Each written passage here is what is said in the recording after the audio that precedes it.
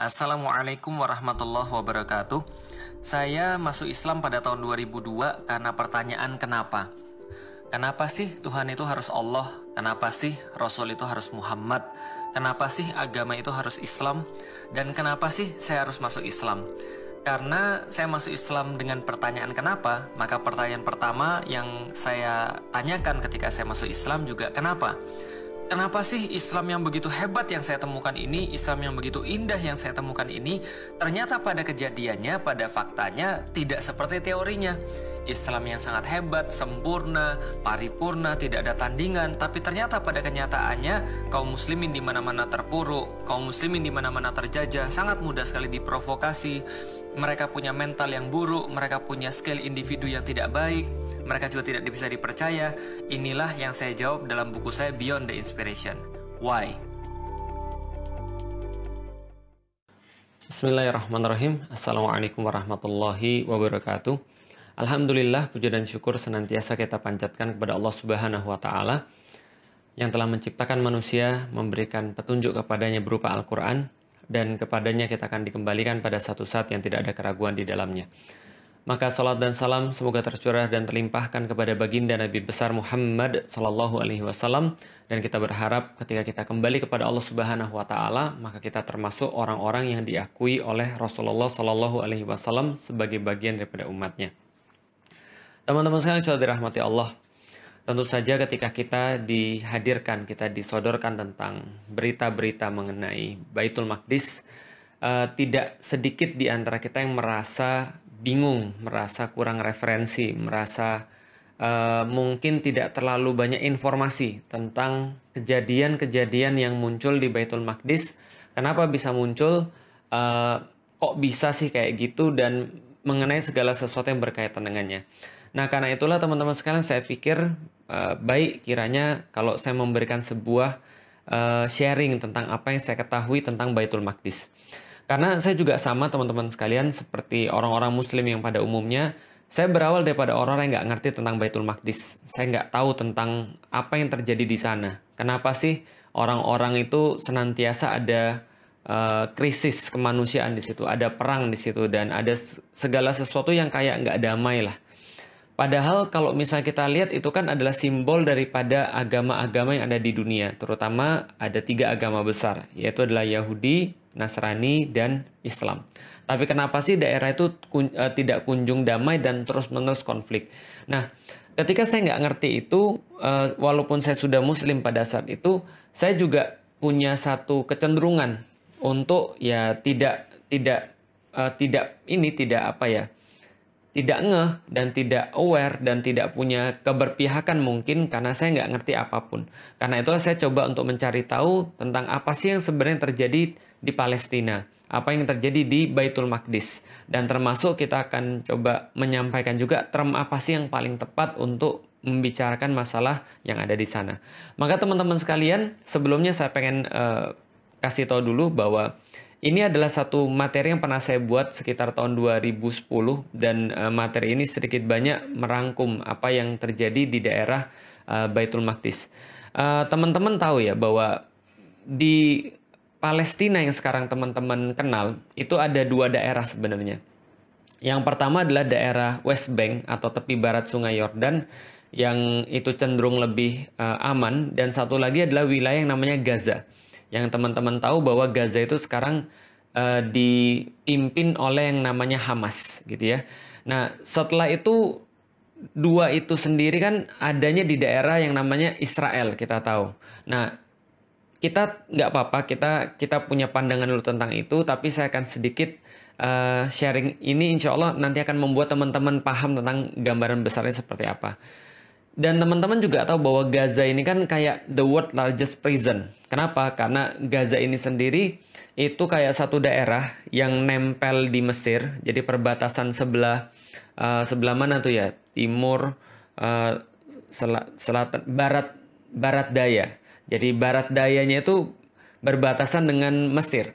Jadi di situlah ada pintu yang namanya pintu Rafah dan selain pintu Rafah itu selain itu ada tujuh pintu yang lain lagi yang memang langsung berbatasan dengan Israel. Sementara yang sebelah barat itu dia berbatasan dengan Laut Mediterania. Jadi memang Gaza ini ketutup dari mana pun.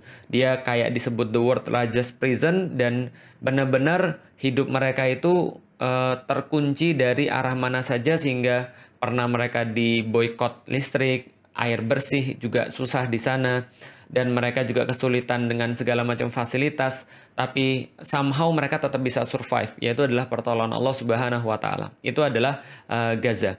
Dan Gaza ini sendiri terletak di satu wilayah lagi yang dikenal sama orang-orang disebut dengan Palestina. Jadi Palestina ini apa nanti juga akan kita jelasin dan di situ ada satu kota yang sangat penting bagi tiga agama yang disebut dengan bahasa internasional sebagai Yerusalem.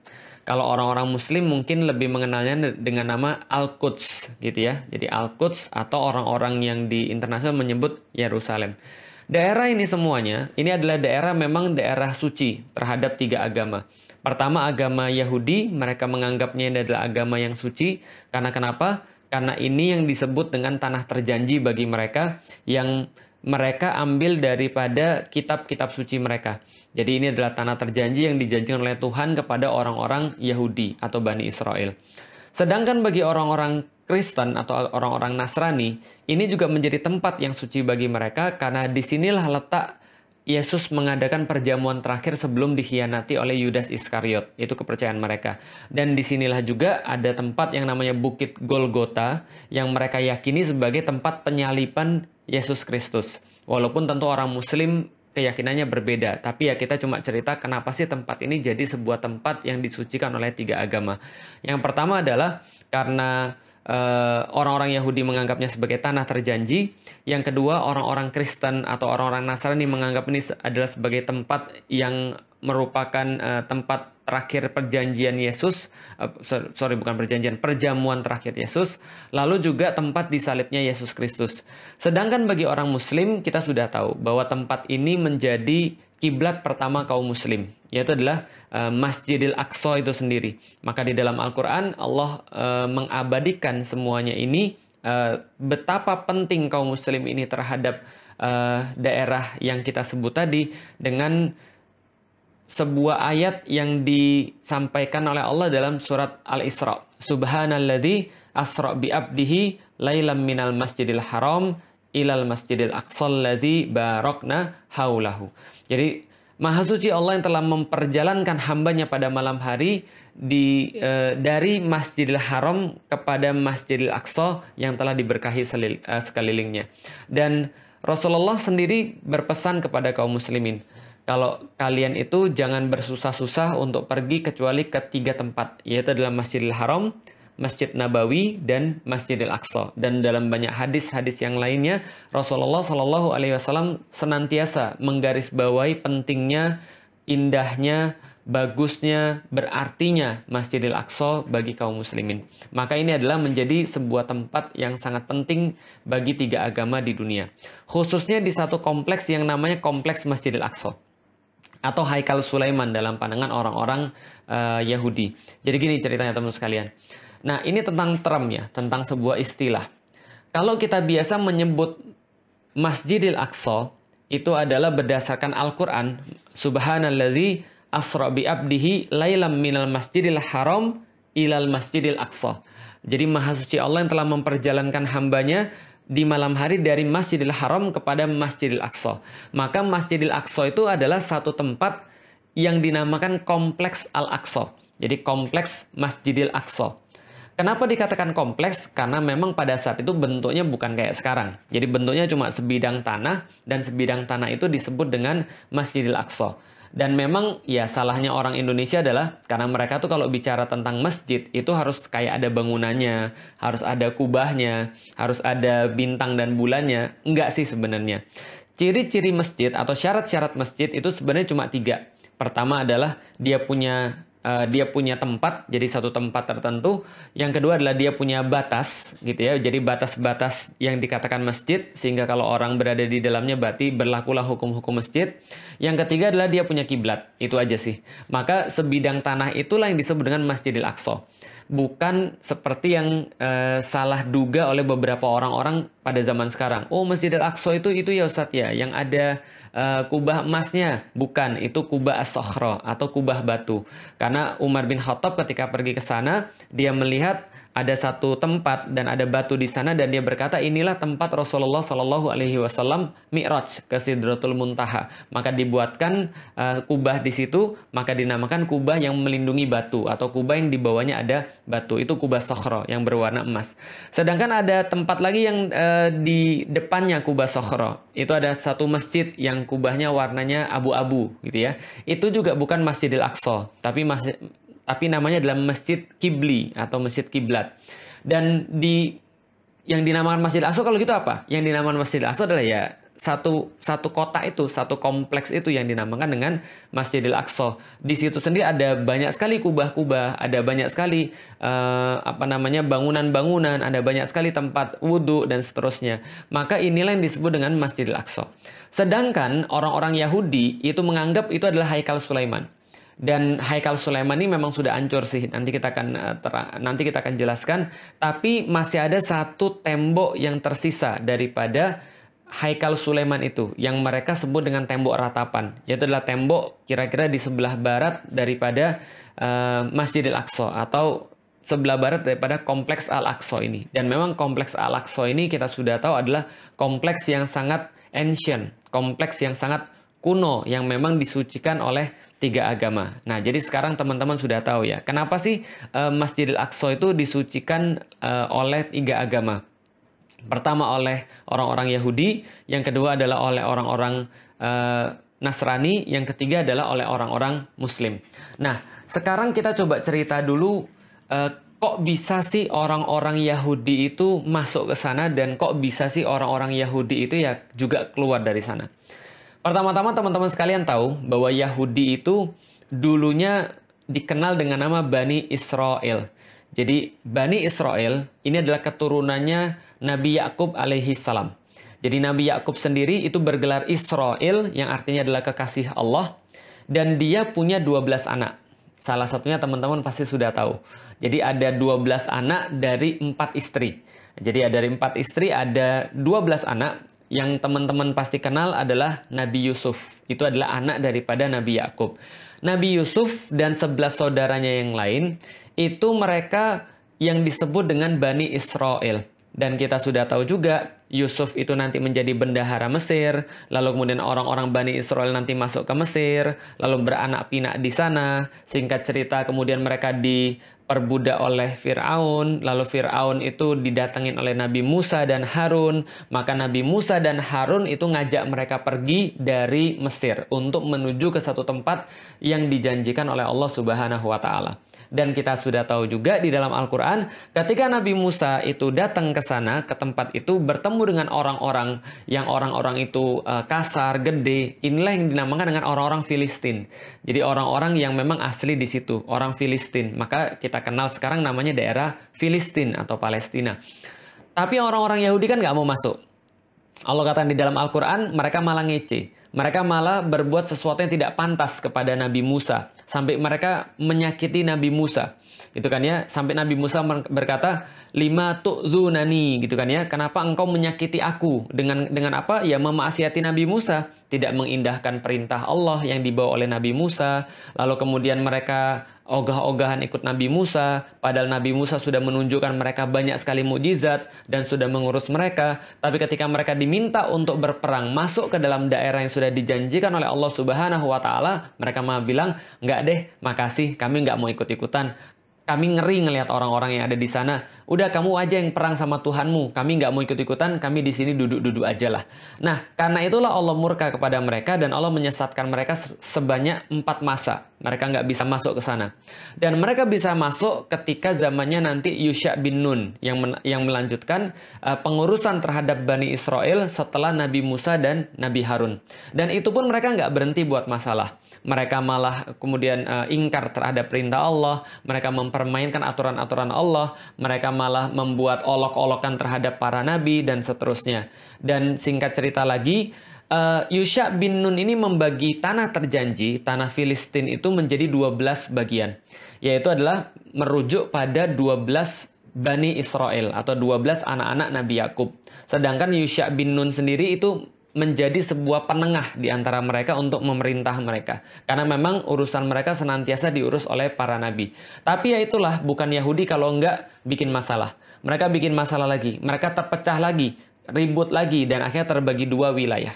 Wilayah pertama itu ada kerajaan Israel yang ada di utara, wilayah kedua namanya kerajaan Yehuda yang ada di sebelah selatan. Jadi kalau misalnya uh, kerajaan Israel ini mereka punya ibu kota namanya Samaria. Sedangkan ibu kotanya kerajaan Yehuda itu ibu kotanya Yerusalem, seperti yang sudah kita tahu dan kita sudah ceritakan tadi. Dan ini mereka terus-menerus berselisih dan konflik satu sama lain. Terus-menerus konflik, terus-menerus konflik sampai akhirnya ada satu kerajaan namanya kerajaan Assyria itu mem, uh, menaklukkan kerajaan Israel yang ada di utara. Nah ini saya sudah uh, ringkaskan dan ini nanti insya Allah tulisan ini akan saya uh, berikan pada teman-teman sekalian karena saya udah ngeringkasin beberapa beberapa tentang uh, beberapa sejarah tentang Israel.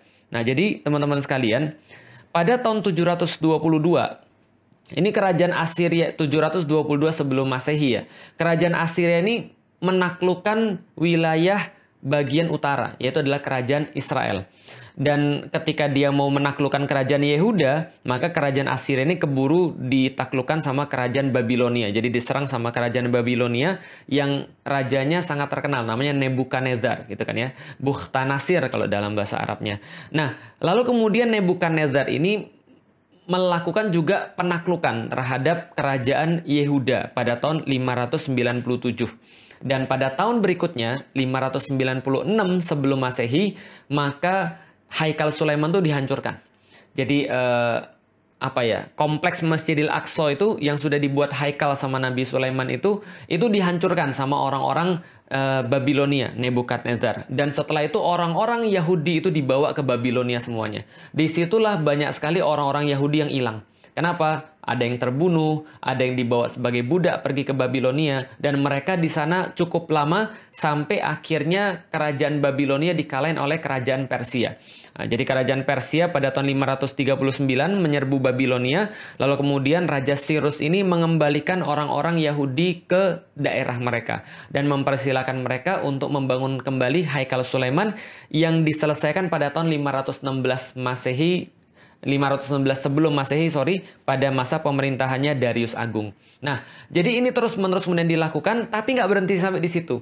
Orang-orang Yahudi tetap lagi kemudian bikin masalah sampai akhirnya Romawi yang menguasai mereka dan ketika Romawi menguasai mereka itu Titus pada tahun 70 Masehi itu meratakan kembali Haikal Sulaiman.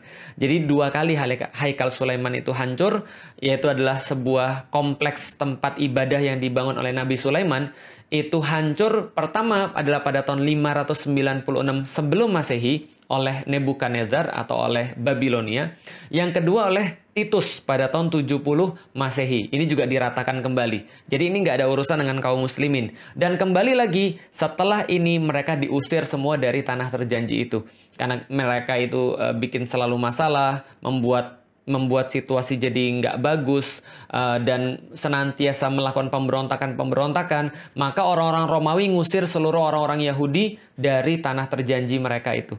Itulah kedua kalinya mereka diusir. Pertama kalinya mereka dijadiin budak ke Babilonia, yang kedua mereka diusir dari uh, tanah terjanji oleh orang-orang Romawi. Jadi nggak ada urusan dengan orang-orang Muslim. Dan pengusiran kedua inilah teman-teman sekalian yang dikenal dengan nama diaspora. Jadi mereka pergi melanglang buana ke mana pun e, ke daerah-daerah yang lain gitu kan ya, sampai mereka punya dendam yang besar terhadap orang-orang Romawi ini. Kenapa? Yang sudah mengusir mereka dari tanah terjanji. Terus menerus ini kemudian mereka menjalani kehidupan yang sulit dan orang Yahudi ini karena punya sifat yang nggak baik. Mereka punya sifat serakah, mereka punya sifat suka uh, ingkar janji, mereka punya sifat pengecut, mereka suka mengolok-olok orang, mereka suka melakukan hal-hal yang nggak bagus gitu ya, maka mereka ini ke mana-mana dapat masalah. Di Jerman dapat masalah, di Austria dapat masalah, lalu kemudian di Eropa tempat-tempat yang lain mereka dapat masalah. Di mana pun mereka tinggal, orang-orang Yahudi ini memang senantiasa eksklusif dan menimbulkan problem. Karena itulah kebanyakan di mana pun itu mereka senantiasa punya problem dengan masyarakat setempat. Nanti list-listnya itu teman-teman bisa cari. List-list problem terhadap orang-orang Yahudi. Makanya sampai dikenal dengan nama gerakan antisemit atau gerakan anti-Yahudi, kira-kira gitu ya. Nah, hanya saja ketika pada tahun 1860 ini lahir seorang pemuda yang orang ini nanti akan menjadi bapak Zionis, namanya Theodor Herzl. Dia seorang Yahudi berkebangsaan Austria. Lalu pada tahun 19 1896, jadi lahirnya 1860, sorry, 1860 lahir, 1896 ketika dia berumur 36 tahun, itu dia menulis satu buku yang sangat fenomenal pada zamannya. Namanya bukunya Der Judenstaat, yaitu adalah The Jewish State. Nah, jadi Der Judenstaat, The Jewish State. Dan di situ dia menegaskan kembali bahwa perlu banget bagi orang-orang Yahudi supaya tidak mendapatkan problem di mana-mana, maka mereka harus bersatu dan sudah wajib bagi mereka untuk memiliki sebuah negara. Makanya judulnya Der Judenstaat, The Jewish State. Dan ketika itu orang-orang bilang, wah ini orang gila, ini orang stres, ini berbahaya. Kenapa? Di zaman itu teman-teman sekalian, orang Yahudi aja di mana-mana nggak disukai oleh orang. Apalagi ada ide mereka mau buat satu negara. Nah, itu orang udah kebayang tuh problemnya kayak apa. Maka ini kemudian dibully, lalu kemudian dilarang peredaran buku ini. Nggak boleh dibaca, nggak boleh diperjualbelikan. Kenapa? Karena mengandung ide yang sangat absurd bagi orang-orang pada zamannya. Tapi dia nggak berhenti. Dia melakukan kontak terus-menerus, kontak terus-menerus. Dan akhirnya dia dapat kontak namanya Lord Rothschild. Jadi ada satu keluarga sangat kaya sekali yang merupakan uh, pionir daripada sistem perbankan. Namanya adalah keluarga Rothschild.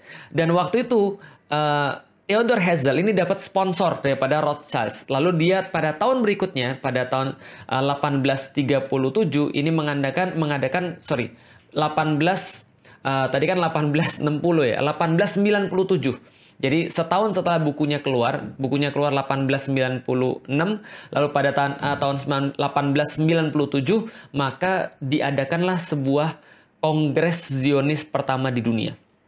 Apa yang mereka kemudian simpulkan di sana? Kami harus bangun satu negeri untuk orang-orang Yahudi, untuk mewujudkan cita-cita orang-orang zaman dulu bahwa negara Yahudi harus bersatu dan punya satu tempat. Pertanyaannya teman-teman sekalian, kalau ada orang-orang kayak gini yang memang di mana-mana uh, bikin masalah, di mana-mana dibenci sama orang, lalu mereka punya ide dari Judenstadt, gimana kalau kita buat satu satu negara buat orang Yahudi, the Jewish state. Kalau gitu pertama kali mereka harus cari tanah dong. Mereka harus cari tempat dong. Pertanyaannya tempatnya di mana? Jawaban teman-teman betul kalau ada orang Yahudi yang mau nyari tempat untuk dijadikan sebuah negara, karena mereka pikir bahwa negara itu adalah sesuatu yang harus mereka punya untuk mewujudkan cita-cita mereka di masa yang lalu, maka pastilah mereka akan cari tanah yang berhubungan dengan sejarah mereka. Maka mereka fix. Ketika Kongres Zionis itu, mereka mengatakan, "Kami mau punya tanah." Yaitu adalah tanah yang dijanjikan oleh Tuhan bagi kami. Ironis memang, mereka disuruh masuk, mereka nggak mau. Mereka sudah masuk, mereka bikin masalah, diusir sekali oleh kerajaan Babilonia di bawah Nebukadnezar, lalu mereka mereka balik lagi, buat lagi Haikal Sulaiman, diancurin lagi yang kedua oleh Titus Romawi gara-gara kelakuan mereka juga, lalu lalu kemudian diusir ke mana-mana dan mereka nggak bisa balik lagi ke sana untuk uh, untuk melakukan ibadah sesuai dengan keyakinan mereka, tapi ketika mereka disuruh milih, mereka milih tempat itu lagi. Karena kenapa? Ya, karena mereka merasa itu kaitan dengan sejarah mereka. Padahal mereka sudah mengabaikan tempat itu in the first place untuk pertama uh, di awal kalinya. Gitu kan ya. Nah, ini mereka kemudian mau balik lagi ke tanah terjanji. Mereka bilang balik ke tanah Zion, balik ke tanah terjanji mereka, yaitu adalah tanah yang disebut dengan tanah Palestina. Pertanyaannya, siapa penguasa tanah Palestina pada saat itu? Siapa penguasa tanah Baitul Maqdis pada saat itu? By the way, teman-teman sekalian, tadi kita sudah sampaikan soalan istilah. Masjidil Aqsa itu disebut dengan Baitul Maqdis sendiri. Jadi Masjidil Aqsa yang kota itu itu adalah Baitul Maqdis sendiri ketika dikatakan uh, oleh Rasulullah Shallallahu Alaihi Wasallam. Kompleks Masjidil Aqsa itu dalam istilah Rasulullah, dalam istilah hadis adalah Baitul Maqdis. Kota Yerusalem sendiri dalam istilah hadis juga disebut dengan Baitul Maqdis. Dan tanah yang yang terjanji itu atau ardul mubarakah atau atau atau ardul muqaddas atau ardul muqaddasah itu adalah juga disebut dengan Baitul Maqdis. Jadi Baitul Maqdis itu ada tiga, ada tiga istilah. Pertama adalah istilah untuk kompleks masjidnya. Yang kedua adalah istilah untuk kota Yerusalemnya. Yang ketiga adalah untuk wilayah yang lebih besar yang dinamakan dengan uh, bumi yang diberkahi atau bumi yang disucikan itu. Nah maka ini yang mereka pengen untuk mereka masuk ke sana. Siapa yang saat itu memiliki uh, Baitul Maqdis atau tanah yang terjanji yang menurut orang Yahudi pengen mereka jadikan sebagai the Jewish state itu yang memiliki adalah orang muslim yang pada saat itu bersatu dalam satu kepemimpinan besar yang dinamakan dengan Khilafah Utsmani. Nah, pemimpin Khilafah Utsmani pada saat itu namanya adalah Abdul Hamid II. Maka datanglah orang-orang Zionis kepada Abdul Hamid II untuk meminta izin mereka ingin mendirikan pemukiman untuk orang-orang Yahudi yang akan jadi cikal bakal negara Yahudi.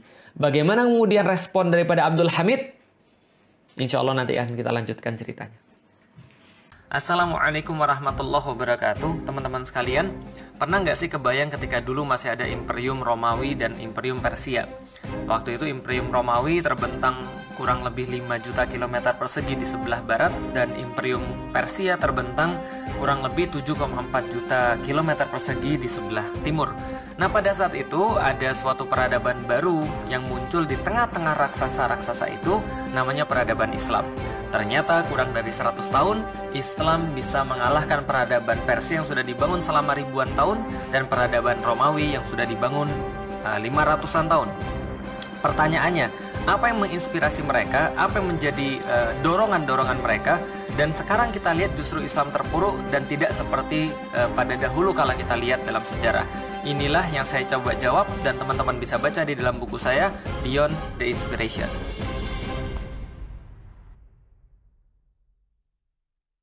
Assalamualaikum warahmatullahi wabarakatuh. Ketika saya masuk Islam, men, uh, memeluk agama yang baru, saya punya banyak sekali kesulitan untuk memahami Islam.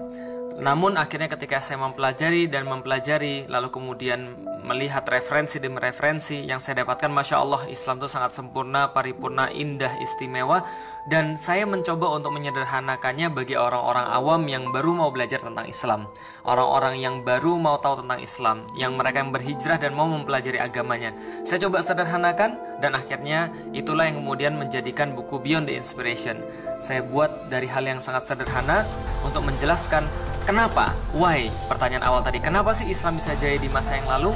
Dan sekarang Islam itu terpuruk dan apa solusinya dan apa harus kita lakukan agar Islam kembali lagi berjaya? Dengan singkatnya, Islam akan berjaya bila pemikiran Islam sudah berada pada kaum muslimin. Itulah yang saya tulis dalam buku saya, Beyond the Inspiration. Bismillahirrahmanirrahim. Assalamualaikum warahmatullahi wabarakatuh. Alhamdulillah, puji dan syukur senantiasa kita panjatkan kepada Allah Subhanahu wa taala. Begitupun juga salat dan salam senantiasa kita curah dan limpahkan kepada baginda Nabi besar Muhammad sallallahu alaihi wasallam. Teman-teman melanjutkan sedikit sharing kita tentang uh, konflik yang ada di Palestina, yang ada di Baitul Maqdis. Kita sudah sampai pada Kongres Zionis pertama yang diadakan di Basel pada tahun 1897 yang akhirnya memberikan sebuah kesimpulan bahwa mereka harus uh, mendirikan sebuah negara Yahudi persis seperti yang ditulis oleh Theodor Herzl dalam bukunya Der Judenstaat. Nah, maka mereka mencari tanah untuk mendirikan negara Yahudi dan tanah itu yang mereka inginkan pasti adalah tanah terjanji tentunya. Maka mereka datang kepada pemilik tanah terjanji yang mereka inginkan sebagai tempat pendirian negara Yahudi yaitu adalah khalifah kaum muslim. Khalifah daripada kekhilafan Utsmani yang pada saat itu adalah Sultan Abdul Hamid kedua. Maka apa eh, respon daripada Sultan Abdul Hamid kepada uh, Theodor Herzl dan juga kelompoknya ini adalah yang bisa kita dapatkan. Maka Sultan Abdul Hamid tidak ingin menemui Herzl.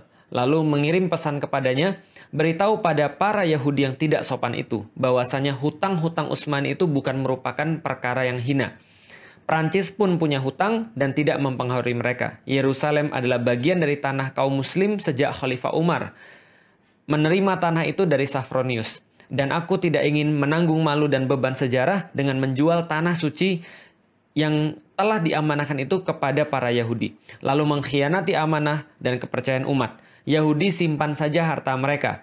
Sebab Usmani tidak akan bersembunyi di balik istana-istana yang dibuat dari uang musuh-musuh Islam. Jadi teman-teman sudah tahu juga bahwa Usmani pada saat itu berada dalam kondisi yang sangat-sangat uh, decline, menurun, hutang-hutangnya banyak dan uh, mereka tidak memiliki cash flow yang baik, maka orang-orang Yahudi itu datang dengan menawarkan uh, uang untuk mereka dan itu adalah respons daripada Sultan Abdul Hamid pada 1987. Tapi tentu saja Yahudi tidak akan pernah menyerah gitu kan ya ketika mereka maaf 1897 maaf. Jadi Yahudi tidak akan menyerah. Maka dia datang lagi pada tahun 1901 untuk menawarkan lagi kepada Utsmani sebuah penawaran yang lumayan bikin ngiler ya teman-teman sekalian ya. Yahudi kembali, maka mereka nggak main-main. Maka mereka menawarkan pada Sultan Abdul Hamid itu sekitar 150 juta pound sterling di masa itu. Nah, kalau sekarang itu kira-kira setara dengan 305 triliun ya, triliun rupiah eh, minimal. Lalu kemudian di, di, uh, diberikan lagi bonus kalau misalnya Sultan Abdul Hamid mau memberikan beberapa bidang tanah kepada orang-orang Yahudi untuk mendirikan negaranya itu, maka mereka memberikan bonus membangun Universitas Utsmani dan memberikan juga kapal perang kepada orang-orang Utsmani. Karena mereka sudah punya sponsor kita tahu namanya uh, Lionel Walter Rothschild atau yang dikenal dengan Sir Lord Rothschild itu. Maka kemudian Abdul Hamid berkata lagi kepada Hazel yang menawarkan eh, tawaran-tawaran uh, itu tadi. Nasihati Dr. Hazel, jangan sekali-kali meneruskan proyek itu. Aku tidak bisa berikan tanah itu karena tanah itu bukan milikku. Tanah itu milik umat muslim yang telah berjihad dan menyiraminya dengan darah mereka. Yahudi silahkan simpan uang mereka. Lalu kemudian Abdul Hamid melanjutkan, jika khilafah Islam dimusnahkan pada satu hari, mereka boleh mengambil tanah itu tanpa bayar. Jadi kayak apa ya? Kayak sebuah sebuah kedikdayaan gitu ya, sebuah kemuliaan, sebuah izah. Jadi pokoknya selama ada khilafah, selama aku masih ada dan selama kaum muslim itu punya kekuatan, kalian nggak bakal bisa. Tapi kalau saya ini sudah nggak ada, ambil gratis aja. Seolah-olah ya Abdul Hamid mungkin nggak akan berpikir bahwa sebentar lagi khilafah itu ya tidak akan ada di muka bumi sehingga kaum muslimin tidak memiliki pelindung dan tidak memiliki perisai. Lalu kemudian beliau katakan, akan tetapi selama aku masih hidup, aku lebih rela menusukkan pedang ke dalam tubuhku daripada tanah itu dikhianati dan dipisahkan dari khilafah Islam. Aku tidak akan memulai pemisahan pemisahan tubuh kami selagi kami masih hidup. Jadi itu adalah jawaban final yang diberikan oleh Abdul Hamid kepada Federasi Zionis. Nah, setelah itu Zionis nggak pernah datang lagi. Tapi walau miswab, setelah Abdul Hamid menolak mereka itu, walau miswab, siapa yang merancang perang dunia pertama ini, tapi yang jelas setelah selesai perang dunia pertama ini, keuntungan yang didapat paling besar adalah keuntungan bagi orang-orang Yahudi. Jadi apa yang terjadi? Tahun 1914 muncul perang. Pada saat itu ada blok sekutu melawan blok sentral. Blok sekutu itu diketuai oleh Inggris dan Prancis, blok sentral itu diketuai oleh Jerman. Dan pada saat itu teman-teman sekalian, Khilafah Utsmani itu berada bareng dengan blok sentral. Loh kok bisa jadi barang blok sentral berada sama uh, Jerman? Itulah satu misteri yang sampai sekarang uh, orang-orang juga heran. Kenapa Utsmani tidak mempertahankan netralitasnya justru malah gabung sama blok Jerman? Dan kita sudah dapat sampai sekarang bahwa ada banyak sekali intrik yang terjadi di Khilafah Utsmani pada saat itu bahwa sultan yang ada hanya sekedar sultan kayak apa ya simbol saja tapi pemerintahan itu sebenarnya dijalankan oleh satu partai yang partai itu tidak mau dikendalikan oleh sultan. Jadi berada di luar kendali sultan. Dan mereka punya satu perdana mereka punya satu menteri yang menteri ini akhirnya justru membuat kesepakatan uh, rahasia dengan Jerman ketika justru Jerman sudah mengumumkan perang terhadap uh, sekutu. Maka seolah-olah sekutu bilang ya udah kalau gitu Utsmani adalah bagian daripada sentral blok sentral. Maka Utsmani mau nggak mau harus ikut perang karena seolah-olah sudah ya memang ikut perang. Nah, itulah dalam tanda kutip ketidaksengajaan orang-orang Utsmani, khilafah Utsmani untuk ikut perang. Dan hasilnya sudah kita ketahui berakhir pada tahun 1916 di, uh, dimenangkan oleh pasukan sekutu dan saat itu seluruh uh, yang kalah itu harus menanggung pembiayaan perang dan sekaligus kerugian perang. Nah, khusus untuk Utsmani, maka wilayah-wilayahnya itu dibagi oleh Inggris dan Prancis lewat perjanjian Sykes-Picot pada tahun 1917. Sykes ini adalah seorang komandan dari Inggris, Picot ini adalah seorang komandan dari uh, Prancis. Mereka bersepakat untuk berunding dan membagi wilayah-wilayah Utsmani. Dalam perjanjian ini, maka mereka membagi wilayah-wilayah, ada wilayah bagi uh, Inggris, ada wilayah-wilayah bagi Prancis, dan mereka menggunakan ada satu wilayah bersama, wilayah khusus, yaitu adalah wilayah uh, Palestina, Filistin, Palestina dan sekitarnya. Itu dikasih wilayah khusus. Tapi sebenarnya yang punya siapa? Yang punya adalah Inggris. Ketika kita sudah paham bahwa Inggris memiliki wilayah kaum muslim termasuk wilayah Palestina atau wilayah Baitul Maqdis, berikutnya kita sudah duga. Lord Rothschild langsung nulis surat permintaan kepada pemerintah Inggris lalu direspon oleh Menteri Luar Negeri Inggris yang pada saat itu dijabat oleh Lord uh, Balfour. Jadi Arthur James Balfour. Maka Arthur James Balfour itu mengeluarkan satu deklarasi yang kita kenal dengan nama deklarasi Balfour. Nah, jadi de deklarasi Balfour ini dikeluarkan pada tanggal 2 November 1917 yaitu adalah kata-kata kira-kira begini. Dear Lord Rothschild, I have much pleasure in, in conveying to you on behalf of His Majesty government the following declaration of sympathy with Jewish Zionist aspiration, which has been submitted to and approved by the cabinet. His Majesty government view with favor the establishment in Palestine of a national home for the Jewish people and will use their best endeavors to facilitate the achievement of this object. It being clearly understood that nothing shall be done which may prejudice the civil and religious rights of existing non-Jewish communities in Palestine, or the rights and political status enjoyed by Jews in any other country. I should be grateful if you would bring this declaration to the knowledge of the Zionist Federation. Jadi pertama kali yang memberikan tanah itu kepada orang-orang Yahudi adalah Inggris. Dan Inggris memperkuat ini lewat diterbitkannya Mandate for Palestine. Pada tahun 1922, Inggris yang pada saat itu mengetuai Liga Bangsa-Bangsa atau League of Nations ini memberikan Mandate for Palestine untuk menjadikan legitimasi bagi orang-orang Yahudi untuk pindah ke tanah terjanji versi mereka dan mendirikan negara Yahudi. Nah, seperti yang sudah kita duga, sejak tahun 1920, 1921, 22 sampai dengan 1939 sampai dengan 1940 dan seterusnya itu puluhan ribu, bahkan ratusan ribu atau lebih besar lagi jutaan orang itu pindah untuk eh, menuju kepada tanah terjanji yaitu adalah tanah yang diberikan oleh Inggris kepada uh, orang-orang uh, Yahudi. Dan apa yang kemudian berikutnya terjadi? 29 November 1947, pasca Perang Dunia Kedua, di mana pemimpin dunia sekarang sudah berganti, awalnya adalah Inggris berganti menjadi Amerika, maka Amerika mengubah dari Liga Bangsa-Bangsa daripada League of Nations menjadi United Nation, menjadi Persekutuan Bangsa-Bangsa PBB. Maka PBB inilah yang akhirnya seolah-olah menjadi penengah untuk menyelesaikan konflik yang ada di Palestina. Mereka bilang kalau gitu kita bagi dua aja. Ini perampokan yang sangat luar biasa. Penjajahan yang di awal diamini oleh PBB adalah penjajahan atas negeri Palestina, penjajahan atas negeri Baitul Maqdis. Kenapa? Karena mereka langsung membagi wilayah menjadi dua, ada wilayah Israel yaitu ada 55% daripada tanah Palestina, sedangkan 45% diberikan kepada orang-orang Arab. Itu adalah usulan daripada PBB, namanya UN Partition. Partisi yang diberikan oleh PBB pada tahun 1947 tanggal 29 November. Nah, ini adalah satu penjajahan dan satu uh, perampokan yang besar. Menindaklanjutin itu semuanya, orang-orang Israel kemudian mendirikan negara Yahudi.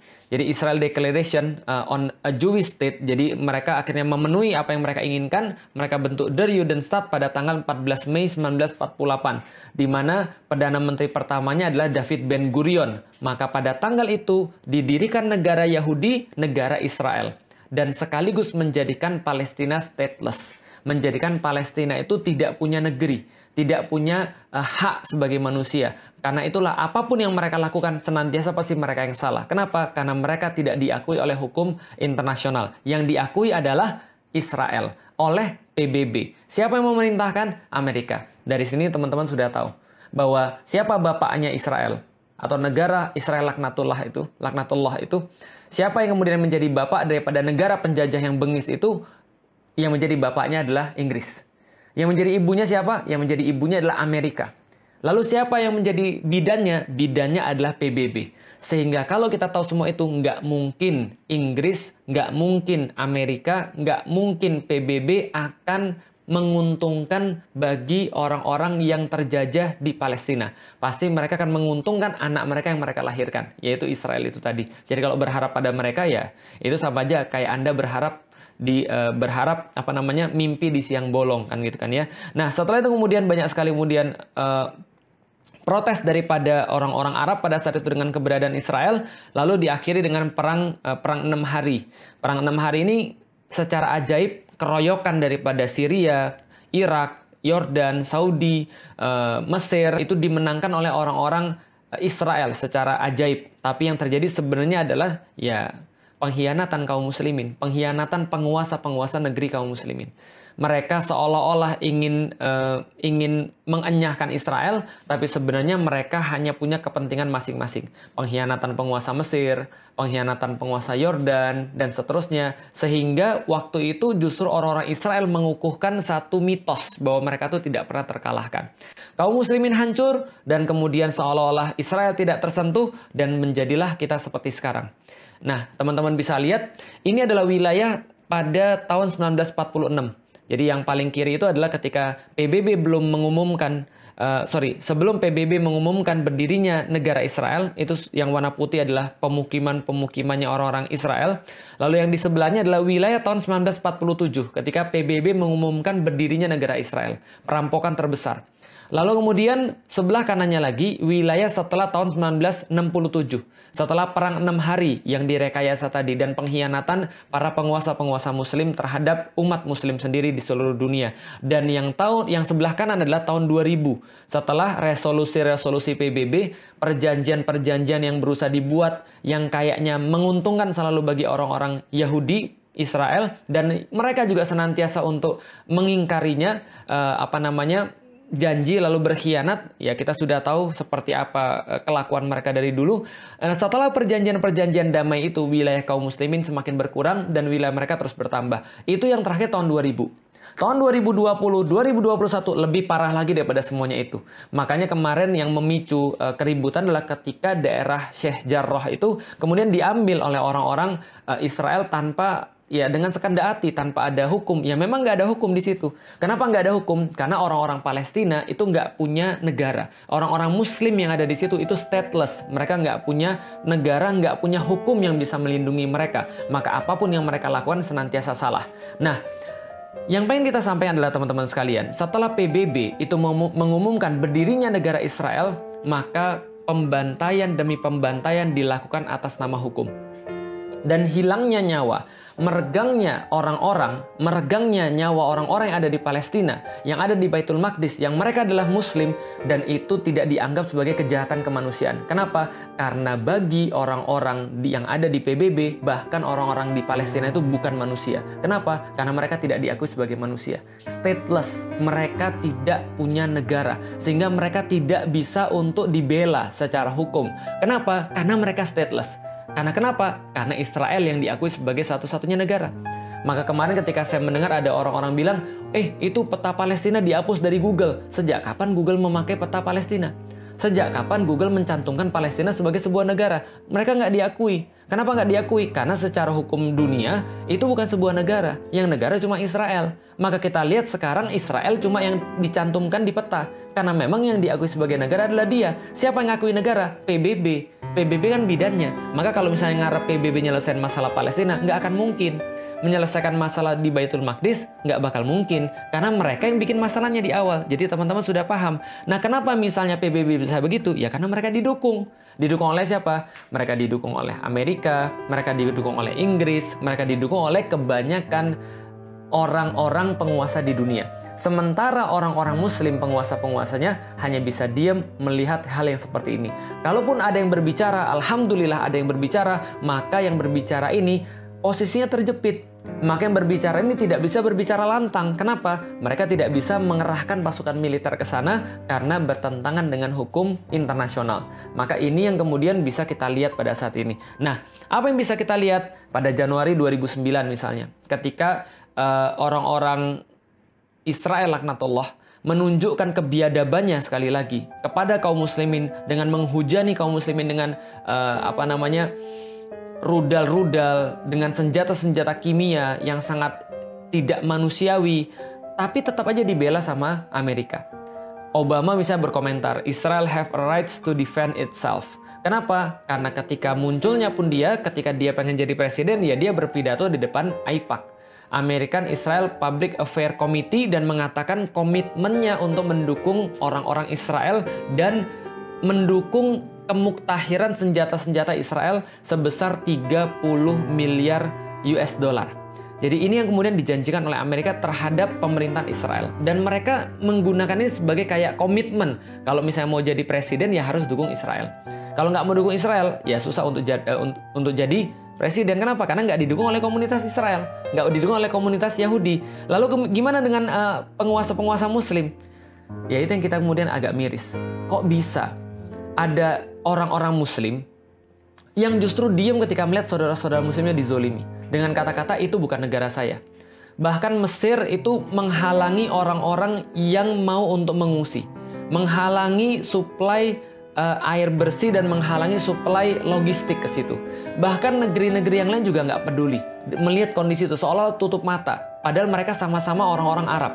Padahal mereka sama-sama Muslim. Mereka sama-sama Qurannya sama kiblatnya sama, rasulnya sama, tapi mereka tidak bisa berbuat apa pun, bahkan cenderung diam, bahkan bekerja sama dengan penjajah-penjajah Israel ketika kaum muslimin sedang dibunuh di situ.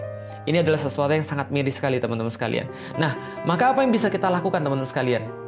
Ketika kita melihat semua ini ya nggak ada yang bisa kita lakukan. Yang bisa kita lakukan ya sesuatu yang tidak esensial seperti berdoa dan berdonasi, mungkin sharing tentang perkara-perkara kayak gini.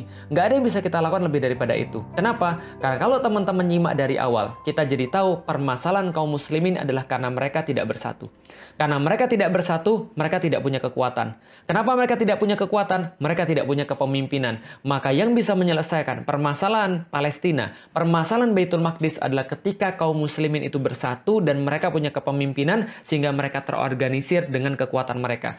Itu yang terjadi pada masa-masa yang lalu ketika orang-orang Yahudi tidak bisa berbuat apa pun. Mereka tidak bisa untuk menyerang kaum muslimin. Mereka tidak bisa untuk menakut-nakuti kaum muslimin. Mereka tidak bisa untuk berbuat seenaknya ketika kaum muslimin masih punya kekuatan pada masa lalu dibawa ke khilafan Utsmani tadi itu. Maka tidak ada yang bisa menyentuh Baitul Maqdis. Kenapa? Karena kaum muslimin akan membela dengan darah mereka.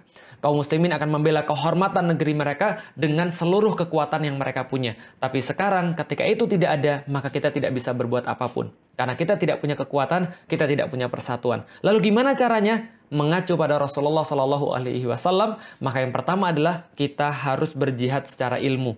Pahami tentang Baitul Maqdis, ngerti tentang Baitul Maqdis pahami tentang Palestina. Apa yang harus kita perjuangkan sebenarnya? Perjuangan apa yang tidak uh, tidak uh, tidak tidak akan punya buah. Perjuangan mana yang dilakukan oleh Rasulullah Shallallahu Alaihi Wasallam. Misal, kalau orang nggak ngerti teman-teman sekalian terhadap uh, masalah ini, maka dia akan bilang, oke okay, kalau gitu kita akan minta agar kita kembali pada daerah 1947 yaitu adalah ketika PBB membagi dua wilayah ini, yaitu adalah wilayah Israel 55% dan wilayah kaum muslim 45%. Ini salah. Karena mereka nggak ngerti, kok malah diperjuangkannya adalah wilayah ketika terjadi perampokan. Kayak kita ada orang tiba-tiba masuk ke rumah kita, lalu dia bilang, saya bawa surat dari RT. Bahwa mulai dari hari ini RT bilang bahwa rumah ini kita harus bagi dua. Kamu tinggal di WC dan di dapur, saya ambil selain itu. Emang kita terima kalau kayak gitu? Ini kan perampokan. Ini kan penjajahan. Kok kita malah terima yang kayak gitu? Kok malah kaum muslimin menyerunya pada wilayah 1947? Kita nggak mau. Kita nggak mau wilayah 1947. Kita nggak mau wilayah 4, uh, 19 uh, 1967, apalagi setelah uh, perang enam hari, kita nggak mau wilayah yang sekarang dan bahkan kita nggak mau wilayah sebelum uh, UN mengatakan partisi itu adalah wilayah tahun 1946. Kita juga nggak mau. Yang kita mau apa? Itu adalah wilayah kaum muslimin. Penjajah harusnya dienyahkan. Orang yang merampok harusnya nggak boleh di situ. Ini adalah solusi sebenarnya. Maka solusi terhadap penjajahan ya berarti dibebaskan. Sebagaimana Umar bin Khattab membebaskan Baitul Maqdis sebagaimana Salahuddin Al-Ayyubi membebaskan Baitul Maqdis. Jadi penjajah itu bukan negosiasi.